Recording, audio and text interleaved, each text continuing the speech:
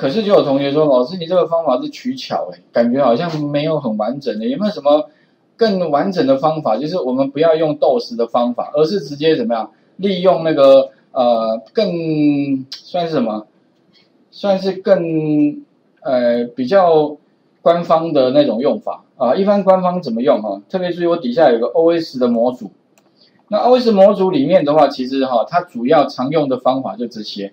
包含什么？Make dir，哎，建目录有没有？如果以后你要建目录啊，也可以用 Make dir。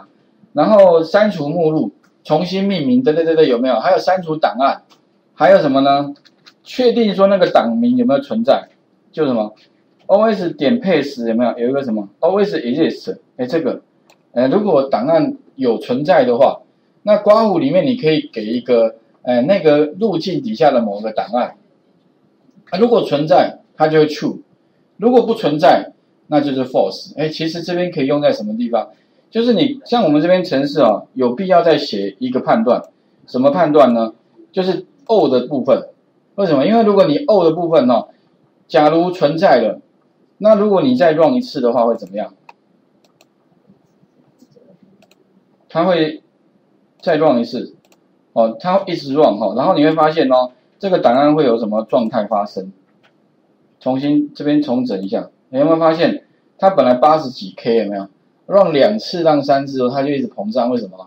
因为我们现在的模式是什么？A 模式，append，意思就是说哈，你 run 一次，它不会盖掉，它会一直加在后面，所以等于是说你合并完的第一次全部的，那你再 run 一次，它又再把第二次 run，第三次 run，所以其实这个程式有个 bug 是什么？理论上应该就是说，你第一次 run 的时候，应该要先检查什么呢？这个档案是不是存在？o 点 txt，如果存在的话，应该就怎么样？把它 remove 掉，对不对？所以哈，我们应该把程式呢哈，再写两行，写在哪里呢？写在开头 input 下方。那写什么呢？if os 如果判断是否存在的话，你可以看到这边有什么是否存在 os 点 paste exist 啊，所以你可以把它这个扣过来，或者是说你重打一遍 os if 什么 os 点 paste 点一啊那那个路径是什么呢？你就双引号后面加一个冒号，那哪一个档案呢？这个档案，所以你可以把这个路径哈这边这个东西哈抄到这边来就可以了。OK，那我干脆偷懒一下，因为包含前面的小啊，把它 copy 一下。放到哪里呢？放到这边来。如果它存在的话，我要做什么？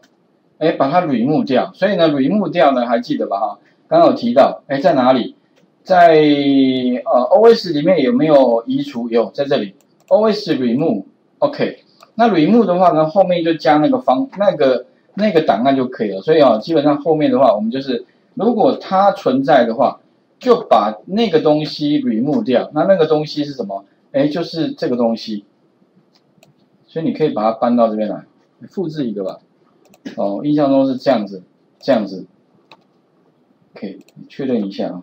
这边的话，其实我们就给完整路径。这个如果存在的话，那就帮我 remove 掉。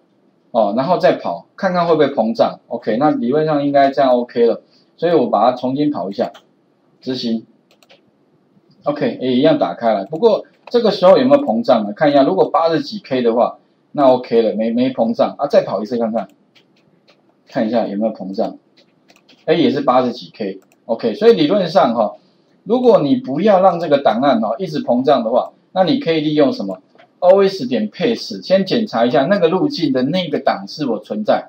如果存在的话呢，就把那个档给删掉，就 remove 掉。OK，应该可以看懂这个程式了啊。其实程式不复杂，哦。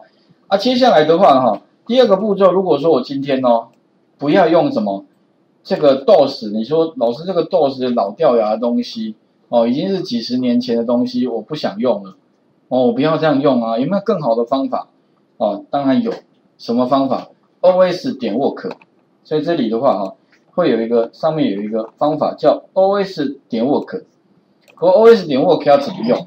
好，我们待会再看，所以请各位稍微参考一下。